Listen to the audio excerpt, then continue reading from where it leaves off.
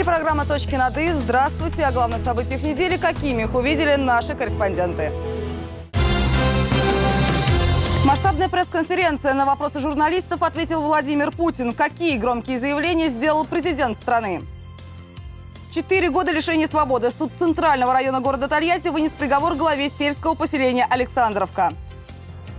Бюджет развития или какие изменения в главном финансовом документе области помогут выйти региону на новый уровень? Межнациональные отношения – вопрос острый. Как в Приволжском федеральном округе, в том числе в Самарской области, решают проблему? Этой неделе в Москве состоялась крупнейшая, уже девятая по счету пресс-конференция. В четверг президент Владимир Путин встретился с журналистами со всего мира. Диалог первого лица государства с корреспондентами уже стал традиционным. Аккредитация была объявлена в конце прошлого месяца. В списках порядка полутора тысяч человек. Среди них была и наша съемочная группа. Итак, четыре часа главным. Вопросы к президенту касались абсолютно разных сфер жизни страны. От внешнеполитических отношений до предстоящей амнистии, посвященной 20-летию Конституции. Кстати, о последнем. Эта новость активно обсуждают сейчас в федеральных СМИ. Владимир Путин по окончании пресс-конференции сообщил, что экс-глава компании «ЮКОС» написал прошение о помиловании. И буквально на следующий день, то есть в минувшую пятницу, после 10 лет лишения свободы, Михаил Ходорковский освобожден из-под стражи. О том, какие еще важные заявления сделал глава Федерации, о самом мероприятии расскажет Анна Архипова. Региональные журналисты начали съезжаться в столицу за два дня до начала самой глобальной пресс-конференции. Возможность лично поприсутствовать на встрече с президентом манит околпера и мастеров слова.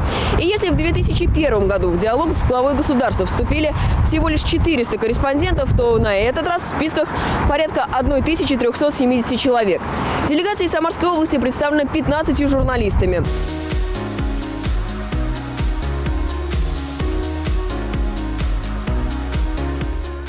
На улице еще не рассвело, а представители СМИ, как российских, так и зарубежных, с сумками и кофрами подтягиваются к месту сбора. На часах 8.15. 12 микроавтобусов за 3 минуты довозят телевизионщиков и газетчиков в Центр международной торговли, где ровно в полдень и должна состояться встреча с первым лицом Федерации. Внутреннее строение каждой камеры на мониторе как на ладони. Получив аккредитацию и пройдя тщательный досмотр, участники пресс-конференции последние минуты перед встречей проводят в суете и выступают в непривычной для себя роли. Тот, кто задает вопросы, встает перед камерой и делится своими планами и ожиданиями с коллегами. Подъем уровня Чебоксарского водохранилища. И, естественно, для нас очень важный вопрос – это третий мультиплекс. Мы хотим нарисовать небольшой плакатик с темой нашего вопроса и будем поднимать как можно выше. То есть пока ничего с собой не привезли? Нет, специально какого-то там как коллажика, знаете, ничего такого не рисовали. Сейчас будем на коленочке что-то делать. Как выделиться и привлечь к себе внимание президента? Этот вопрос, над которыми ломали головы в региональных редакциях. В ход идут транспаранты, головные уборы, мягкие игрушки. Объявлена пятиминутная готовность. Корреспондентов попросили занять свои места.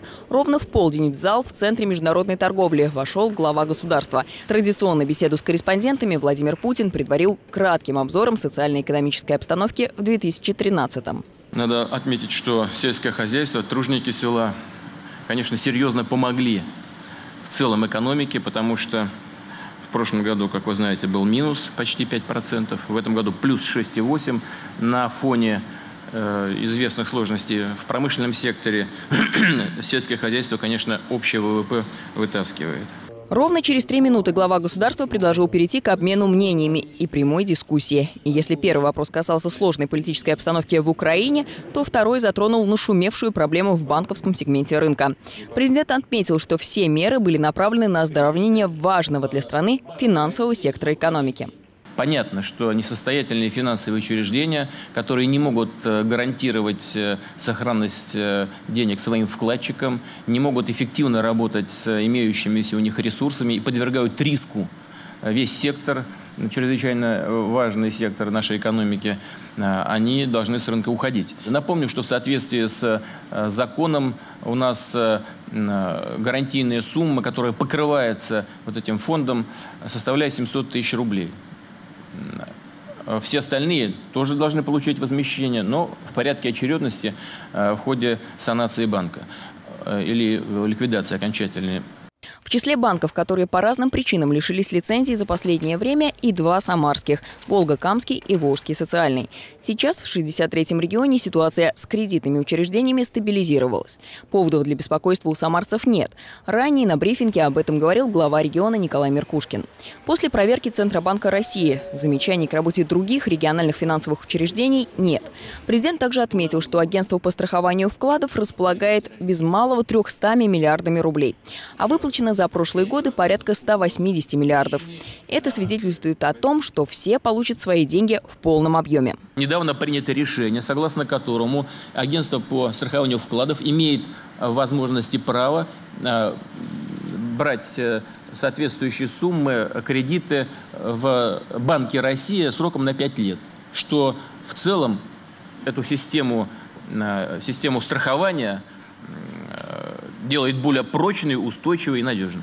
Также поднимались и вопросы, связанные с системой местного самоуправления. По мнению Владимира Путина, городоначальники должны больше уделять времени работе с населением. Как раз с этой темы начал свое послание президент к федеральному собранию.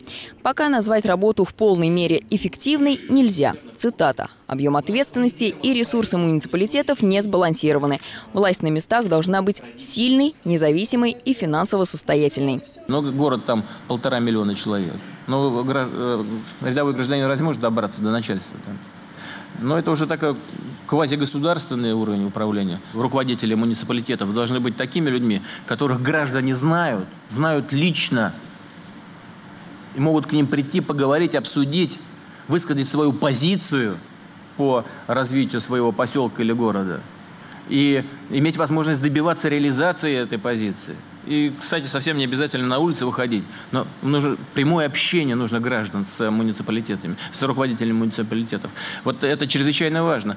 Не оставили и без внимания вопросы развития регионов, внедряющих инновационные производства. В Самарской области реализуется сразу несколько подобных проектов. Технопарк «Жигулевская долина» в Тольятти. На сегодняшний день он насчитывает 45 резидентов.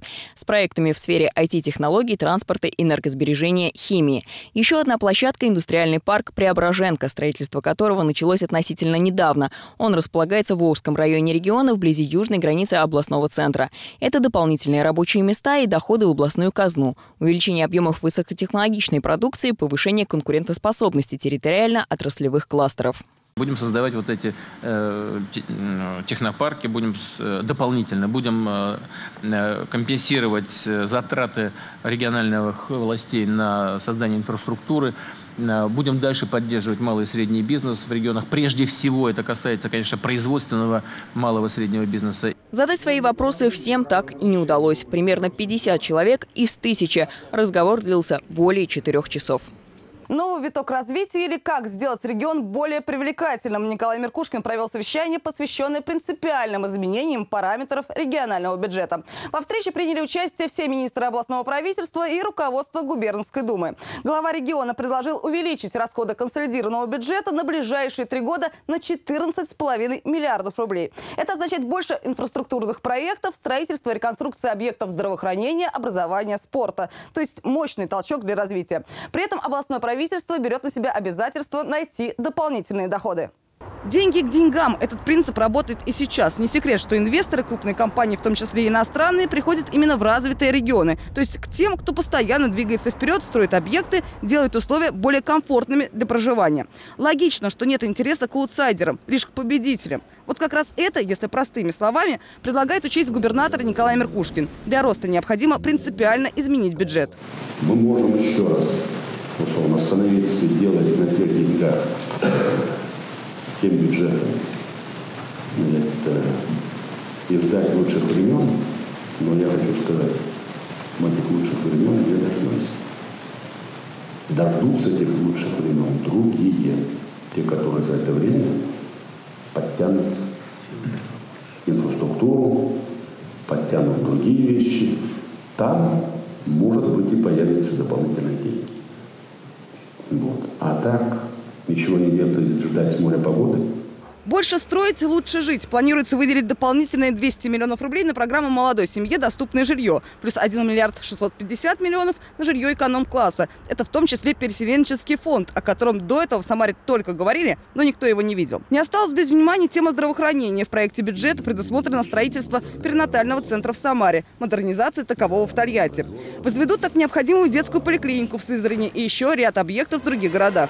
Не забыта тема спорта, плюс 980 миллионов рублей. Это в основном возведение так называемых троек. В одном комплексе бассейн, лед, универсальный зал. За три года таковых должно быть пять в Самаре, три в Тольятти, плюс в Сызрани, Чапаевске, Новокуйбышевске и еще в ряде районов. Мы намерены, мы намерены во второй половине года начать демонтаж ЦСКА э, ВВС Литовой и начать э, к зиме или осени начать стройку. Там ни одной хоккейной площадки вместимость будет до 7,5 тысяч человек. Это, это тоже нам надо до чемпионата мира, чтобы мы имели э, универсальные залы, хоккей и все. И там, если шоу-группы будут приезжать или еще что-то, мы могли иметь в центре города зал, где можно было разместить э, там 7,5, там может даже 8,5, если занимать в том числе э, портер, ну, имеется в виду площадку. И еще одна немаловажная тема – это развитие села, плюс 600 миллионов рублей. Если их не предусмотреть, то можно лишиться федеральной поддержки. А так, на эти деньги можно возвести в три раза больше жилья и социально значимых объектов. То есть поднять села на новый уровень. Далее – дороги. Все средства, не освоенные в этом году, а это практически 3 миллиарда рублей, перейдут на следующий. То есть возводить и ремонтировать большими темпами в регионе продолжат. В 2013 году мы сделали, освоили, сделали дорогу в два с половиной раза больше, чем в прошлом году. В два с половиной раза больше.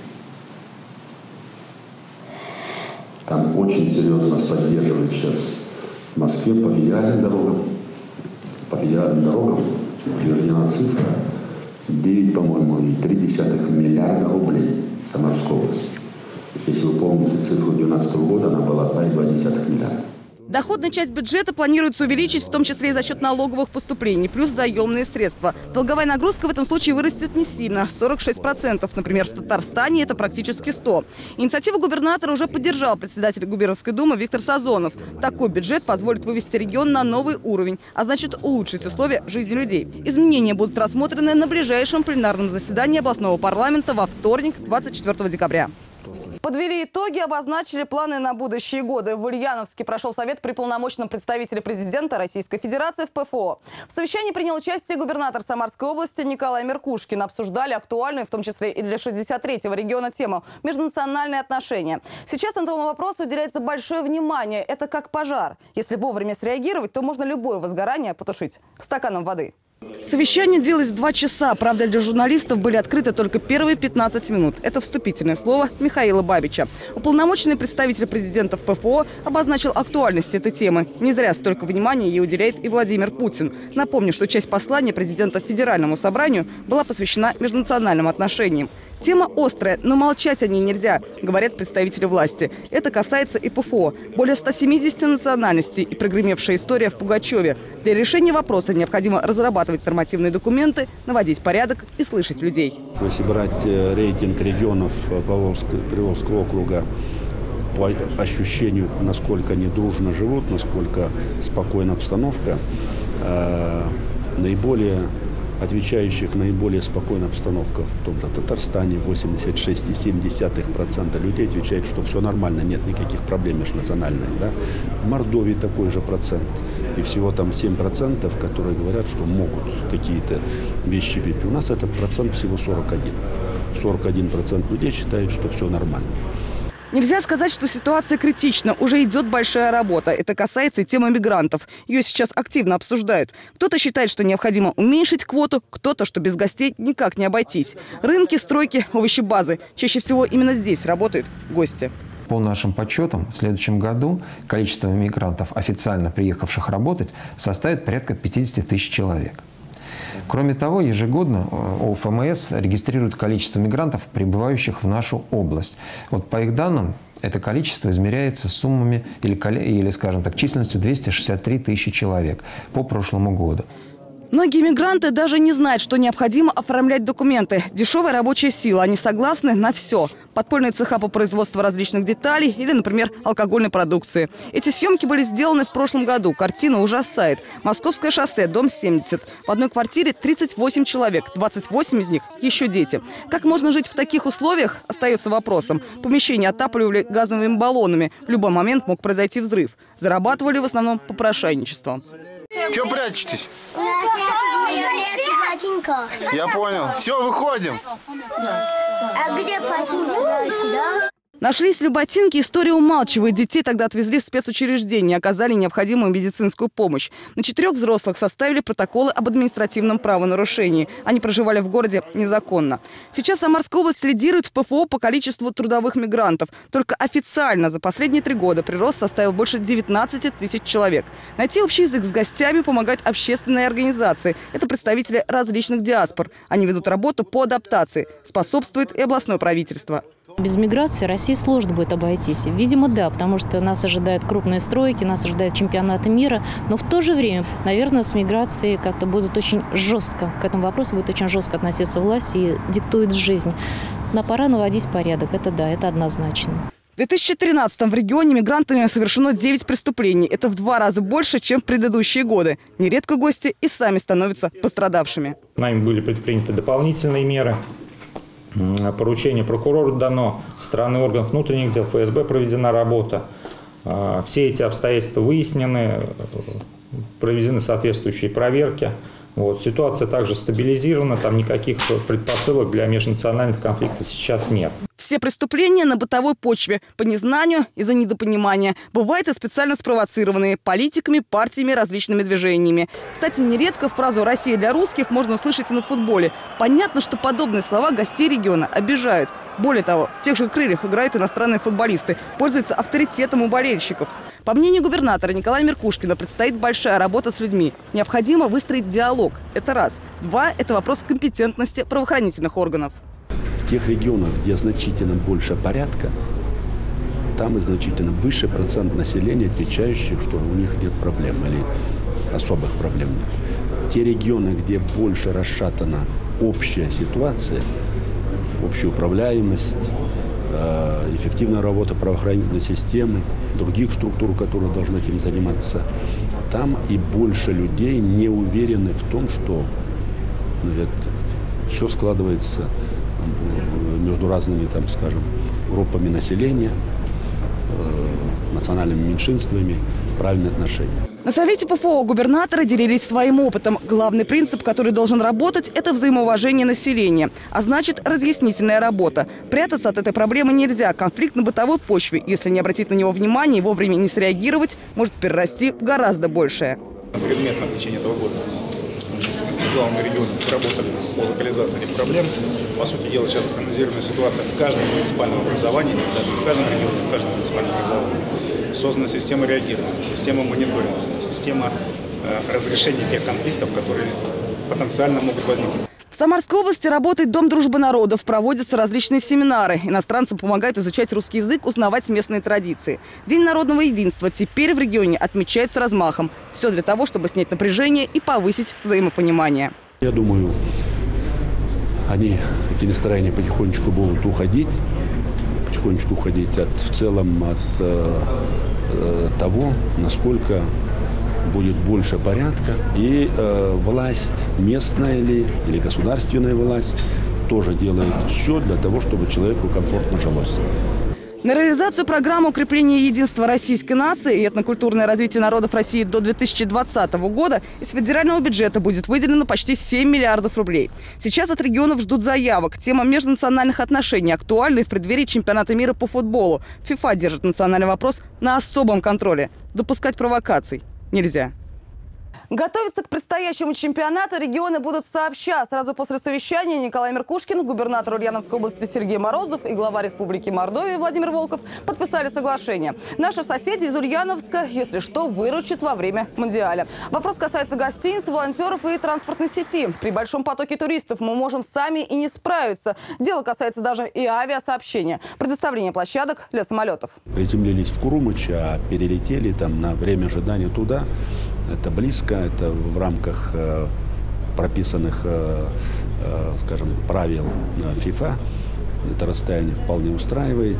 Там до 400 километров считается нормальным. Дорога Саранск, Ульяновск, Самара и автомобильные, и э, железная дорога. Естественно, она отвечать должна тем требованиям, которые предъявляет ФИФА.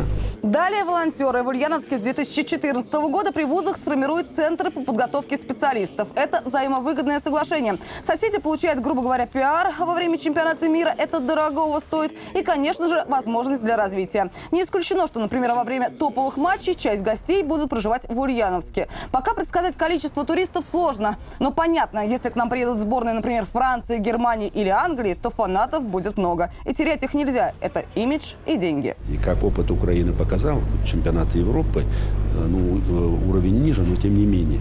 Когда в Харькове проводили дополнительную игру, четвертьфинал, по-моему, то они не смогли принять примерно 18 тысяч человек э, желающих, которые могли бы туда приехать. Ни волонтеров уже нет на такое количество, ни, ни стоянок нет и так далее, и так далее. Поэтому понятно, что прежде всего наши.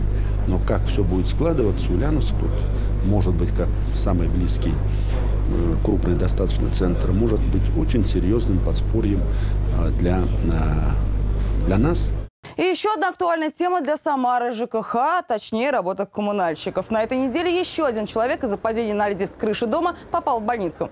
У мужчины черепно-мозговая травма. Напомню, что это уже не первый случай за эту зиму получения травмы при таких обстоятельствах. В городе становится опасно. Например, жильцы Октябрьского района, как раз где и произошло последнее ЧП, просто боятся подходить к своему же дому. Подъезду не подойти. А самое главное, у нас вот, если вы посмотрите, двухэтажка, такие сосульки висят. Если, не дай бог, обрушится, вот сегодня потепление, это все пришибет насмерть. Сбивают весной, прям э, и то, я не знаю, откуда они, и крышу проламывают, э, так как все старое жилье. Ну а сейчас нет, никто не забивает. В общем, будьте осторожны, требуйте от коммунальщиков выполнения своих обязанностей. У нас же на этом все. Пока точки над «и» расставлены только в этих темах. Дальше больше. Увидимся на следующей неделе.